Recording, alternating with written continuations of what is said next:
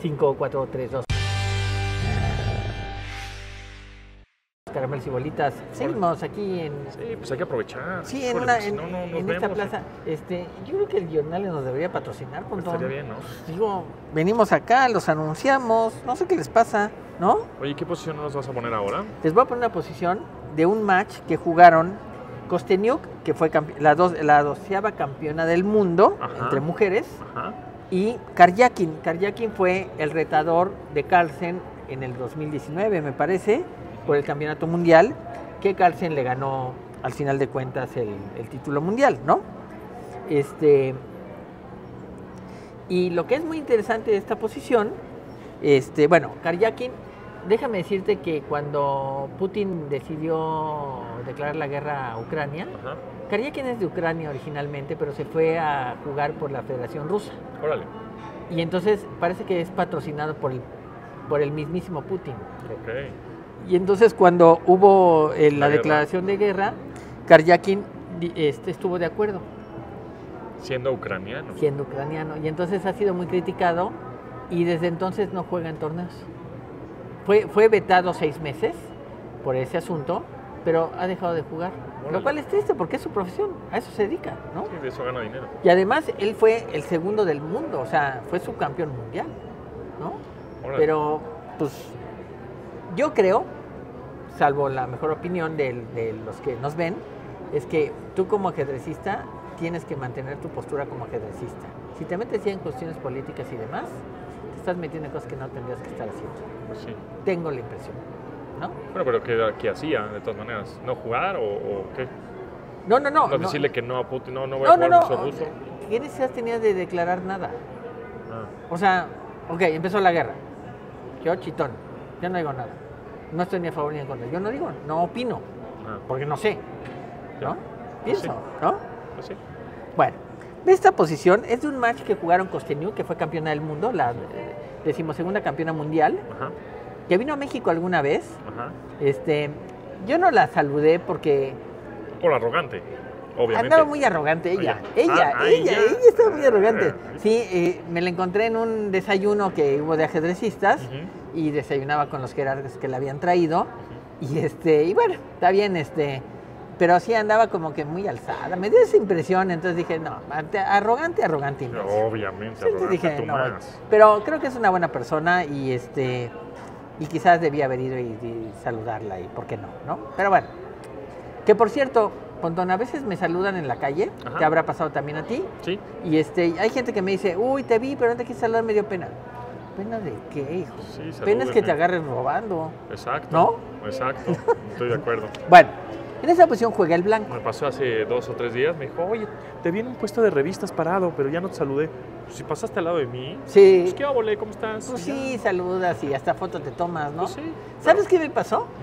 Estaba por San Juan de Aragón, aquí a la vuelta, Ota, por sí, la villa, aquí cerquita. ¿no? Y se bajó un chavo de un taxi Ajá. para tomarse una foto conmigo y se volvió a subir al taxi. Wow, Eso fue buena onda, eso sí me cayó súper bien. Buena onda, buena ¿no? Buena onda, ¿no? Bueno, en esa posición juega el blanco. Y tiene la dama menos, pero le toca al blanco, ¿no? Y mira la jugada que va a hacer. Karyakin lleva blancas, Kosteniuk lleva negras. Fue un match que jugaron hace unos años.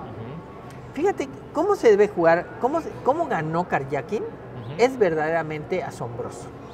Primero dio jaque. No puedes jugar la dama aquí para defender, o sea, no puedes quitar al rey, ¿no? Entonces, no puedes jugar la dama acá porque te dan jaque, el rey se quita y torre por esmate, ¿ok? Entonces, no puedes jugar y aparentemente ya perdiste, pero Costeniu, que es una mujer con muchos recursos, jugó dama acá, no acá porque pierde inmediato, pero jugó dama acá. Entonces, le jugaron torre por dama jaque, ya tienen igualdad de material, el rey vino y atacó la torre y ataca el alfil también. ¿Ok? Y la pregunta es qué jugar acá. Y Karyakin encontró una muy bonita jugada con la que gana rápidamente. ¿Cuál es? Fíjate. Entrega la torre. No puedes comer con alfil porque estás en jaque. Ajá. No puedes comerte el alfil porque te comen la torre. Ajá. Y si te comen la torre, te dan jaque y te comen la torre. ¿No? Tremendo. Qué bonita jugada de Karyakin, ¿no? Tremenda. Es una de las combinaciones más bonitas que he visto de Karyakin. Sí, está ¿No? fuerte, ¿eh? ¿Sí? Bueno, vamos Te- a ver. Te un- dejas comer para ganar, o sea. te dejas comer para ganar, exactamente. Déjame mostrarte ahora una posición de Caruana. Te voy a dar mi opinión de Caruana. Cuéntamelo. Me parece que Caruana, que por mucho tiempo ha sido el segundo del mundo, es un jugador que dentro de la elite, dentro, dentro de la elite, que son todos jugadores de mucho talento, es el que menos talento tiene. Es mi opinión, ¿eh? Ok. No necesariamente es cierta, y si Caruana la escucha seguramente va a decir que soy un imbécil. Pero más allá de lo que piense Caruana de mí, creo que es un jugador que se ha hecho porque tiene un talento que no tiene la mayoría, que es el trabajo continuo y, for- y- y de, de diario, todos los días. Tiene una disciplina súper férrea, Es que a veces es más valioso las ganas Sí. que el talento. así es. Cuando, este, cuando tiene la disciplina, la disciplina alcanza el talento. Sin duda. Y yo creo que Caruana, ese, ese es el ejemplo perfecto de un jugador muy fuerte, sin duda, pero creado más porque ha trabajado incansablemente en el ajedrez. No es un jugador con el talento de Carlsen, por ejemplo. Carlsen tiene un talento así que le sale por los poros, ¿no? no y, y Caruana es un tipo de trabajo, y trabajo duro, ¿eh? Trabaja diario en ajedrez, ¿eh? No creas que no. ¿Sabes quién no trabajaba diario? Kasparov. Eh, hay una anécdota, eh, Leoncho García, ¿te acuerdas Sí, de Leoncho? sí, sí. Bueno, Leoncho cuando se hizo campeón del mundo Kasparov, lo entrevistó y estaba su mamá también ahí. Este, y entonces le preguntó a Leoncho, le dijo, bueno, ahora que eres campeón del mundo, me imagino que vas a descansar un poco, ¿no?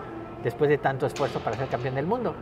Y antes de que dijera nada Kasparov, su mamá lo interrumpió y le dijo, nosotros no sabemos qué es descansar, Toma. nosotros trabajamos diario. ¿Cómo ves?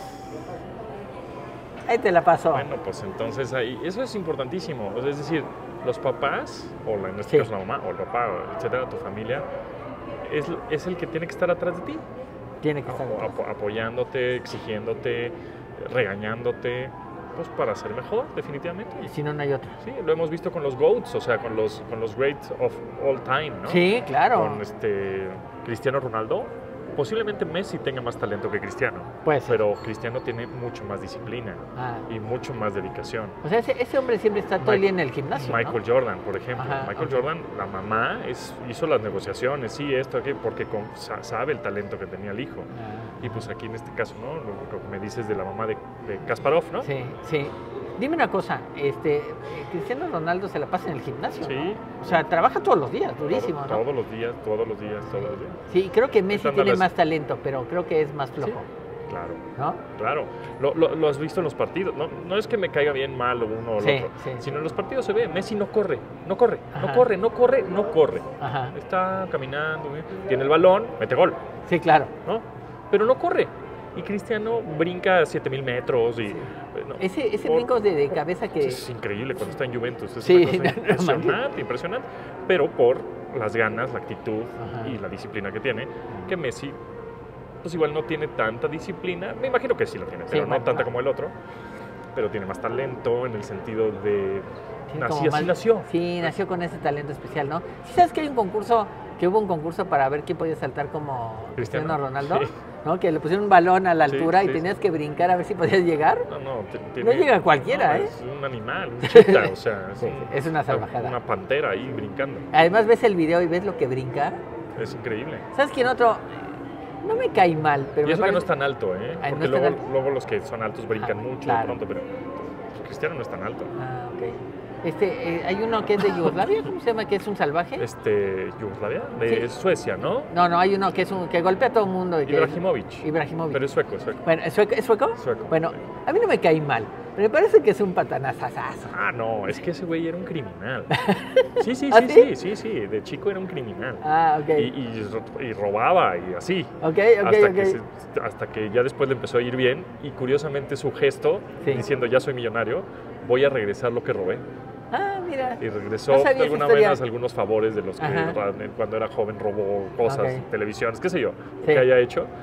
Este, él le regresó el, pues no el favor, pero Sí, claro. las cosas que se robó cuando Sí. era más chico, pero sí tiene un es un salvaje. Es un salvaje. Es un salvaje. Pero no me cae mal, ¿eh? A mí no me cae mal, no, tampoco, pero es un salvaje. Y creo que lo odian mucho en, en los partidos, ¿no? Porque Sí. es Y muy, se acaba, muy y se acaba de salvaje. retirar hace Ah, ¿sí se retiró Sí, ya? hace unos meses, sí. Ah, sí, apenas. Ok. sí, Ya hay apenas. también otro que es un güero muy alto. Erling Haaland. Ese también creo que También es una es bestia, una ¿no? bestia Pues gigantesca. creo que sigue creciendo.